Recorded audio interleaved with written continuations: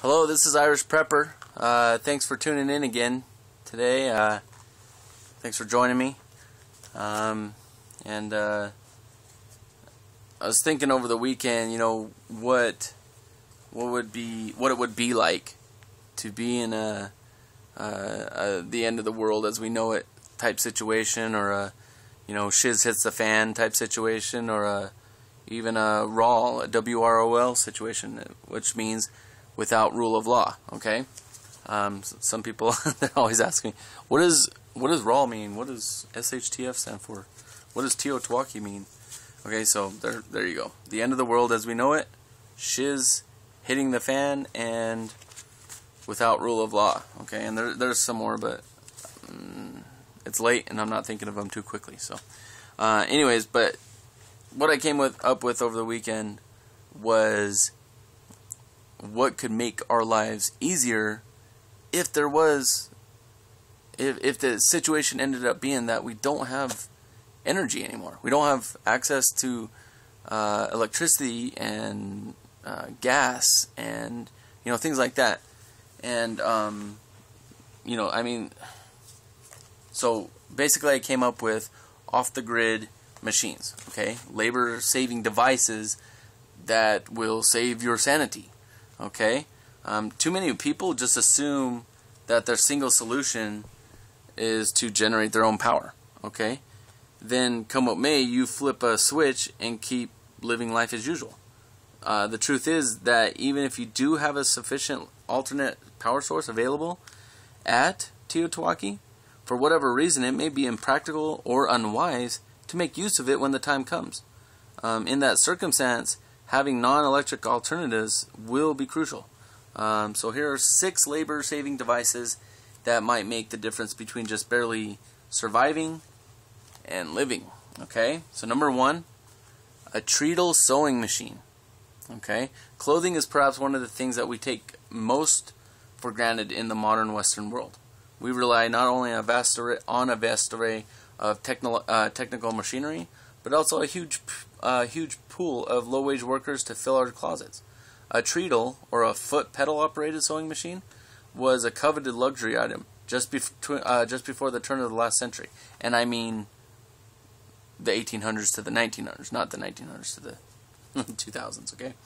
Um, so, uh, basically, the reason it was such a, a coveted luxury item um, the time savings when using it were huge and meant more time for other important tasks in the home. Okay, surprisingly, these are still around in abundance. Okay, you can find these. Um, you can you can buy them for as little as 50 bucks in in tons of places. Okay, around the country.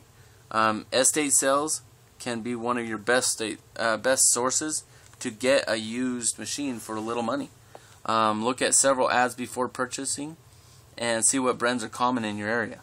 Uh, the more of uh, single type there are, the better, uh, as you will need to find non-working or partial machines in order to get cheap or free replacement parts. Okay. Um, number two, hand crank grain mill. Uh, whole wheat berries are one of the most versatile and long-lasting food stores for your pantry. Lasting up to 30 years when stored properly, these are a wealth of nutrition. However, Though the whole berries, raw or toasted, are a yummy snack, you need to have a way to grind them up into meal or grain. Uh, though you are able to find these as antiques, you may want to consider purchasing a new one to ensure the blades are sharp and clean. Um, shop around, okay, and read user reviews in order to get a feel for which meal might give you the best or the most choices of textures in your price range, okay. And if you want uh, really uh, grainy type bread, or if you want very fine grained, uh, almost uh, white bread. Okay, so um, and that's what I mean by finding you know the best, most choices of textures. Okay, uh, number three, a solar oven. Building a fire takes time and uses precious and consumable resources. Even in cloudy and cold climates, you should get enough sun to at least bake all your bread once a week. Okay, a solar oven will uh, also will not send up a smoke alert to alert passerbys of your presence if your cooking activities need to remain secret, okay, clandestine. Uh, you can purchase complete ovens for a couple hundred dollars or experiment with various fashions to make your own. Uh, make sure you have a thermometer so you can see what temperatures you are actually reaching and how long it takes uh, your oven uh, to attain that that heat level. Okay. Uh, number four, tool set. Okay, because electric hand tools are so much faster and easier, many of us find that these are the only tools we have. Okay, a good sharp axe, several saws, hammer, simple farming tools like a potato planter, and a sharpening stone will become critical. Okay, if you don't believe that these are labor-saving devices, try hammering a nail using a rock. Let you chew on that one for a second. uh, make sure these tools are well cared for, well cared for, and store in a safe place. They may just save your life one day. Okay. Uh, number five, a hand wringer washer. Laundry is one of the most time-consuming chores, even with a modern washer and dryer. Okay, while you may think that with a wash tub and clothesline you're all set to launder clean clothes off grid, you may have forgotten the difficult task of squeezing out the water that your washer does for you in the spin cycle. Hand wringers are crank operated, taking a huge job and turning it into just one. Uh, there are full setups with wooden forms to place your wash tubs or small handheld ones that will uh, uh, that will fit in a laundry room cupboard. Okay. Again, antique stores and estate sales are good places to find a great deal on these. If you get lucky, uh, you'll find one that is fully functional but doesn't look that pretty. I mean, they were for laundry after all. Uh, but being an ugly little thing, you'll find very little competition to purchase it. Okay. Uh, number six, a wine press. I have no idea why I put this down. I don't remember writing this. Uh, if you have all the above covered, you might want to start thinking about the essentials of life uh, beyond the essentials of life to the luxuries. Okay, an item with a wine press not only gives you something enjoyable, uh, but potentially a valuable item for creating commodities that you can trade. I think that's why I wrote that down.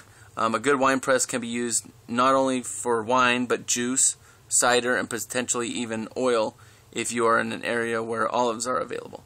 Olives are available. Though you can find these used as antiques, they are typically very rusted and thus not usable for anything other than a decorative piece. Thanks to the growing interest in home brewing, you should be able to find these online and at specialty stores. Again, shop around, read some reviews, and find one that meets your needs. Okay? Uh, but you should just use this list to start thinking. Then analyze what your individual needs will be and how to meet them. Visiting estate sales, antique shows, or you know, going through the antique section of Craigslist can give you a, tons of ideas. Uh, we must not forget the solutions of our forefathers, or we will be stuck reinventing the wheel and losing valuable time in rebuilding our society, if that's what happens. Okay? When choosing which off grid machines are the most essential for your family, think about what parts of your daily life will take you the longest without electricity. Also, think about things that you would miss the most such as ice cream or juice, and consider providing a way to make those things as well. Um, sometimes it is the little things as much as the big ones that are going to make all the difference. Okay, so I hope this video wasn't too long, um, and basically it's just to get you started. Okay, start thinking about what type of uh, situation do you want to be living in. Um, you know, if if a TEOTWAKI situation uh, comes around our way. Okay? Alright, so this is Irish Prepper. Thanks for tuning in, and you have a nice day.